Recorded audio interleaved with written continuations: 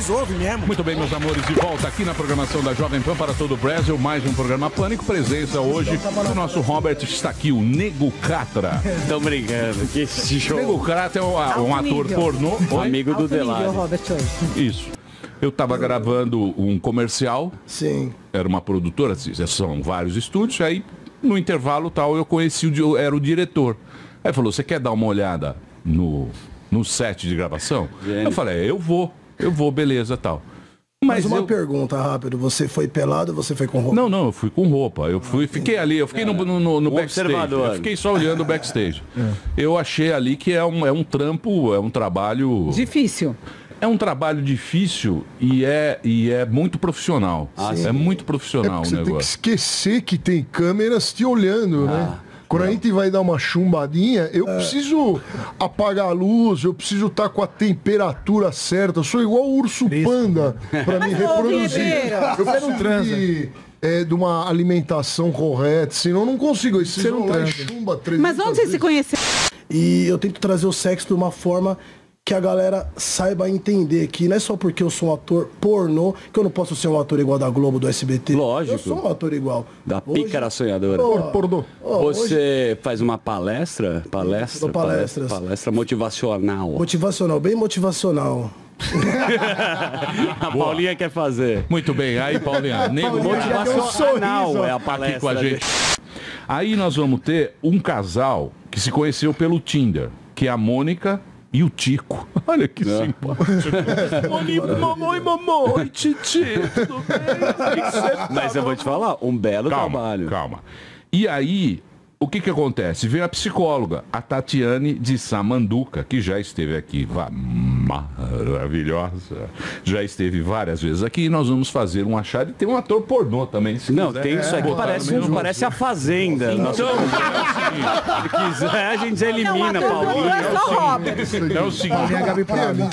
Ele é bom, fui no show dele em Bonito, em Recife, e é um cara performático. Porque tem cara que não sabe fazer um show, então ele, ele é um cara que movimenta uma galera. Nosso show Por isso gente- que ele faz sucesso. Nosso show a gente. A tá gente querendo alguma coisa. Lógico que é. Nada, cara, ó o Zé Permuta, ele já depois tentou, fala de mim. eu ele acho já tentou. Eu acho que ele tá querendo alguma Ele coisa. quer ir no trio elétrico em Não, quero Salvador. chamar- ele já tentou, já. Já tentou aí, ó. Tá em cima de mim, Permuta. tá? Ele, Ah, ah, tem ele- um outro lance. Ele tem uma bissexualidade maravilhosa.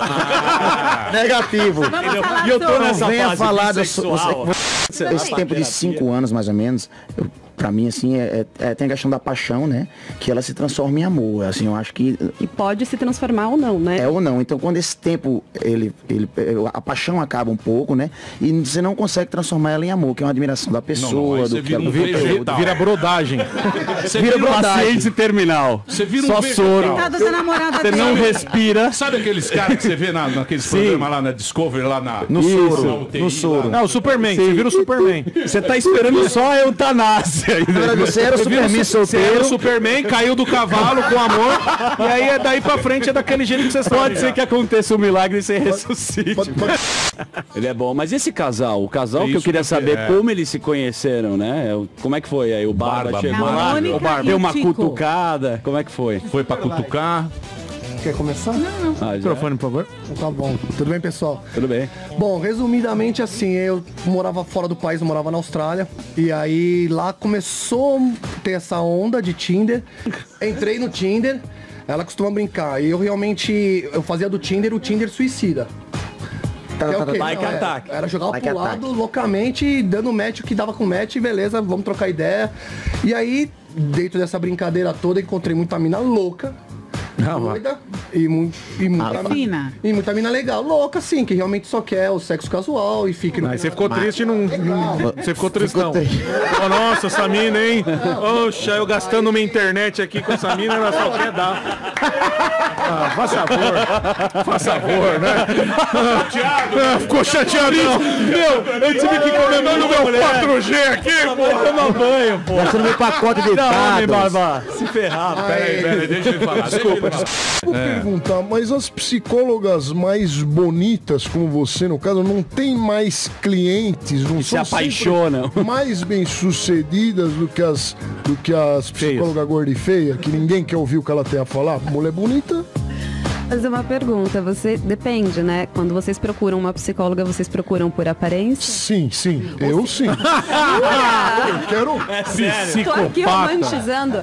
É, eu acho que não se sustenta, né? Não, a a aparência. presença de uma mulher bonita nos agrada, nos traz paz e conforto. É verdade. Se for uma psicóloga feia fa- falando. Fica atordoado. Você já tem uma quero. síndrome. Vem a mulher é um Coisa canhão, você fica traumatizado. Mas não, Você cura, você tem o verdadeiro poder de cura. As psiquiatras feinha. Você tá maluco. Não, mas você Tá? Peraí, peraí. Então, é, onde tá na sua hierarquia de valores aí o relacionamento? Qual ele é importante pra você? Porque relacionamento é isso, né? A gente precisa sim se empenhar. Ele não só existe, não é só o casamento, é dia a dia. Casar várias vezes com a mesma Então, quer dizer, pessoa. é um Eu acho saco. ótimo. Se você consegue é um terminar saco. e casar várias vezes, Com né? a mesma pessoa é impossível. Com a mesma pessoa, é possível. Não é possível, bosta nenhuma. Não não. É impossível. É impossível. Quanto tempo você tá, doutora? As Desculpa. Quanto Tô tempo você tá falando no casada? Geral, no geral. Oito anos. Oito, já tá Oito desgastado. anos. Dá Ah, pra nossa. ver. Então, mas Desculpa. Tanto é que ela tá falando. Tanto é que ela tá falando. Dá muito trabalho. Isso. É gostoso. Ele não Olha, eu ajuda. atendo terapia de casais na clínica. desculpa, desculpa interromper, eu acabei de bolar uma nova teoria aqui. ele, Agora. ele acabou de falar que depois de cinco anos que você fica com uma pessoa, Quer que eu faça a pergunta? Depois a Paulinha vai fazer a coreografia da Jennifer, A que ela parece a mulher do É que nem a Paulinha. Ah, não vem me colocar no bolo, Ó a não. Jennifer Eu vou aqui, ó. É porque o Gabriel está Deixa com a eu falar música. uma coisa. Peraí, Ah, calma, Jennifer. calma. Não, não, não, você já Peraí, falou peraí, demais. peraí, peraí. É que nem a Paulinha. Desculpa, Gabriel. É que nem a Paulinha. A pessoa, ela vai criando. Ah, Assaduras. Não, ela vai a dura é a criando. sua mãe que queria. Bota- Aí tá lá lotada de assim, O teu marido ronca, você nem mais dorme com ele, dorme, você dorme na sala, de tanto que ele ronca, você vai reclamar que o outro. Não, agora tá- ele não ronca mais porque ele emagreceu, Emílio. Sim. Então foi uma, Mas quem faz um emagrecimento familiar. Ah, É isso aí. Muito bem. Melhorou? Só pra... O quê? A safadezinha melhorou? Claro, lógico, melhor que tudo, né? Opa, Eu vou Paulinha contar tá aqui, ó. Você vê que O que o teu marido tá tomando de. Cialis, filha? O coração dele tá parecendo de um boi. Meu marido Daqui a pouco ele tem um infarto. o bicho tá inchado. de- É porque o Emílio, ele é louco pra ir com meu marido lá na Indianópolis. Bota a foto da Paulinha na praia. Olha é. isso. Ela foi, ela Olha- emagreceu, ela. Olha que legal. Maravilhosa, É, já Não tá, vi. não. Não tá, não. maravilhosa. Dobra Não, maravilhosa. Isso, não tá. isso é uma é? mentira. Não, Doutora, é mentira. Isso, Olha lá. Uma- olha, Ela não- ela- é você, Paulinha? Não. Da direita? Não, Acho é- que não. é a Sil Esteve. Ah, tá. Pelo amor de Deus. Ali a bunda dela tá com resfriado. A bunda parece que vai espirrada. Paulinha. Ela tá sua mãe.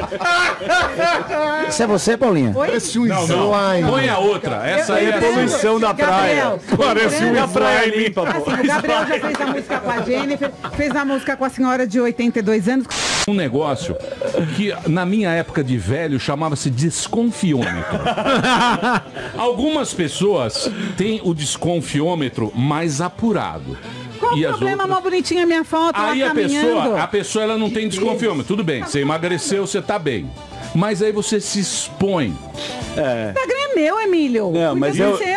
E ela Vai, tá vai. ajudando as pessoas a emagrecer também. Porque você vê a foto, você perde a vontade de comer. Não faça Acho bonito. Eu falo assim, pô. Paulinha é uma... Sabe por que isso? É Viu, eu, eu vejo um problema em, usar uma, uma atriz gorda, porque o que que acontece? Você tá dando, um- eu acho que um mau exemplo. Porque a gordura, a gordura, Deixa o gordura é uma doença. Ela causa hipertensão, problemas articulares e um monte de coisa. Aí as crianças vão ver e vão falar assim, ó, eu quero ser gordinha. E de acordo com as normas de saúde, Da Anvisa. é ruim você ser gordo, além de atrapalhar as atrizes magrinhas. Você tá Gente, dando ai, emprego com uma gorda. Não, mas eu dei emprego magra. duas, eu dei emprego As atrizes magras que malham pra caramba também merecem Tá meio... Bom, Eu vou fazer É, um mas break. é por isso que hoje tem tanta gente doente, né? tá É, a questão mesmo da aparência, da gente supervalorizar, superestimar. é porque o Emílio, ele é louco pra ir com meu marido lá na Indianópolis, sabe? Ele tem vergonha, ele vai... O marido dela, ele pega os travequinhos. né, De patins, é a tara uma dele. vez. Traveco de patinho. Ele põe um patins nos travecos e eles pegam uma casquinha do, do McDonald's e vem entregar pra Paulinha. Essa, cada um tem sua loucura. Dá um rolê de patins. Ele faz fala assim. Ele dá rolê de patins, né? patinete da Faria Não, Lima. não, ele tem no porta-mala e depois no patinho. É o fetiche E dele. ele faz corrida entre trans. Quem chega primeiro? A Paulinha. Oli trans. Aí ele fala, pra conquistar ela, pra conquistar ela, que ela é gordinha, ela era gordinha. Ele fala, bem, Vê a Paulinha no pula-pula, pogobol e tem um trans de não, patins. ele fala assim, bem, eu vou no McDonald's pegar um quarteirão com queijo pra você. Ela fala, Ele vem com a casquinha derretendo. Aí ele vai pegar os travequinhos. Batata murcha pra caramba. Ele passa no drive-thru, pega o Big Mac murcho, traz pra Paulinha. Vizinho. Mas existem pessoas que gostam de fazer amor fazendo bastante barulho pra alguém ouvir e, é e ficar com ideia de falar: ah, essa pessoa está mais uma vez fazendo amor. Eu uso É chicote uma com silenciador. chicote com silenciador, que é pra não incomodar o vizinho. Chicote com silenciador. Mas homem, homem, 16 Recife e João Pessoa na Paraíba, 17 Juazeiro e só dia 18 vai fazer o Só Toca Pop, 19 altas horas com o Sérgio. Um beijo pra você, Sérgio. Dia 20 TVZ Rio. Um beijo pra você, Ferdinando. Ferdinando Show. Obrigado, Eu, eu- eu gosto, eu gosto da Baby Bobolete, cara. Um abração, Ferdinando. No dia 22, Maranguape, no Ceará. Ferdinando. Dia 20.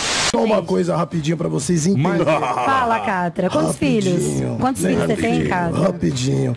Gente, tamanho não é documento. Tem muita gente que tem um piu-piu grande, mas não sabe nem usar. Mais machuca do que dá prazer. É isso aí. Tem Mac gente que que tem um piu-piu pequeno É e aí. faz a mulher se satisfazer. Às vezes nem o piu-piu Eu- é bom. Use as mãos ou as línguas. É isso aí. Eu Nossa. fiz. gente é bom Eu fiz, eu fiz redução peniana. Fiquei excitado. Ó, o Zé Abacate. Olha aquele abacate. Buraco na bunda do lado, gente. Zezinho Abacate, humilhado na escola.